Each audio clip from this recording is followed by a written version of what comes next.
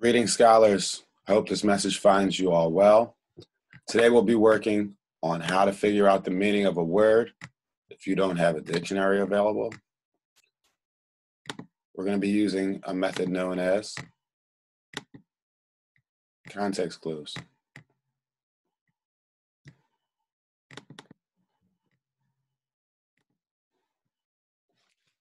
Context clues. So first the word context means within the framework of, and we all know that a clue is something that gives us an idea. We're going to learn context clues by playing the context clues riddle game. Read each sentence silently. Think about what the highlighted word means and the type of context clue you use to arrive at your answer. You don't have to write anything down.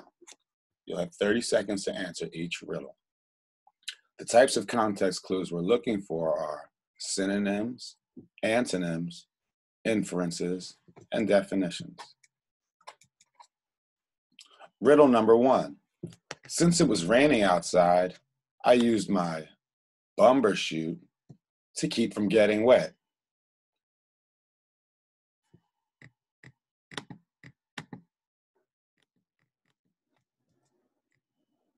The answer. A Bumbershoot is an umbrella. The context clue is the inference.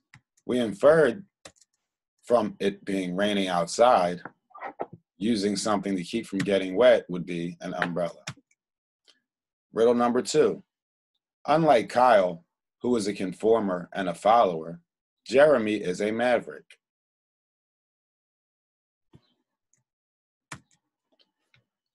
Answer. A maverick is a loner, someone who is independent of the group.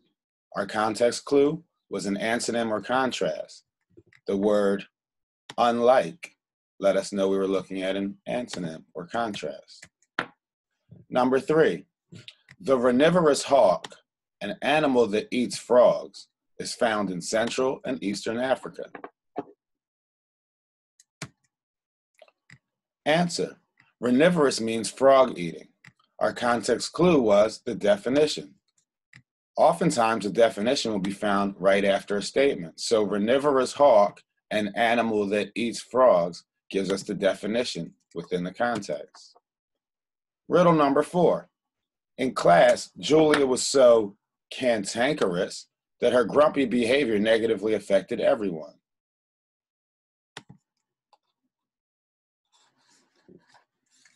Cantankerous means grouchy or ill tempered. Our context clue was a synonym or restatement. Grumpy is a synonym for cantankerous. Let's do a quick review. Why are context clues important? They help us to find unfamiliar, difficult words in text. They help us to become better readers more perceptive readers. They come in handy during tests when a dictionary or the internet is not available to us. So when we're taking our PSSAs or whatever tests we have to take, we can read a passage and infer from the text surrounding it using synonyms, antonyms, definitions, what a word means. Where are context clues found? Usually in the same sentence as the difficult or unfamiliar word, Oftentimes, if not in a sentence, you can go on, they'll be in the same paragraph or passage and the, as the unknown word. And context clues can be in the sentences following the word, for example. They're called context clues because they are found in the context of the sentence or passage. Context clue number one definition. A definition will use the unfamiliar word directly defined in the sentence in which it appears. They're usually set off by commas or dashes and may include the use of words as, or, that is, and in other words. For example, apples, red fruits that grow on trees, are my teacher's favorite. There we have apples, a comma that then defines what an apple is. Context clue number two antonym or contrast. The unfamiliar word is defined by using the words opposite or contrasting meaning. This type of context clue usually includes the words whereas, unlike, as opposed to, however, in contrast to, but, or on the other hand. An example, unlike Jen, who was easygoing, Jackie was fastidious. Because of the word unlike, we're going to then be able to know that fastidious is an antonym of easygoing. Synonym or restatement, context clue number three. Words with similar meanings are used within the same sentence or around the unfamiliar word. An example, Santa Claus was portly and his doctor declared him overweight. Santa Claus was so portly that his doctor declared him overweight.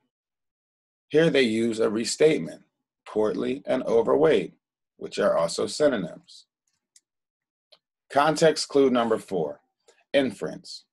Word meanings are not directly stated in the text, but definitions of unfamiliar words can be assumed by both prior knowledge and the context in which the word sits. Example, she was so famished that people felt sorry for her and gave her food to eat. Because people gave her food to eat, we then can infer that famished means hungry. Hey, context clue, I remember you. By using the acronym SAID, you can remember the four types of context clues synonym, antonym, inference, and definition. That will conclude this portion, this lesson for today. I hope you all enjoyed it.